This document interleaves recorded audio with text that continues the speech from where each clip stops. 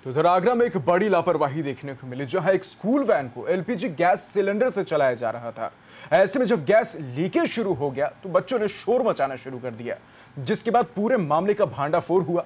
अब देखना यह है कि पूरे मामले में आखिर आरटीओ विभाग कार्रवाई कब करता है। तस्वीर आप आगरा की देख रहे हैं। यहाँ पे स्कूल वैन को एलपीजी सिलेंडर से चलाया जा रहा था। हालाँकि गनीमत यह रही गैस लीकेज होते ही बच्चों ने शोरगुल शुरू कर दिया, जिसके बाद इस पूरे मामले का भांडाफोड़ हुआ। अच्छी बात यह भी रही कि किसी तरह का कोई बुरा हादसा नहीं हुआ।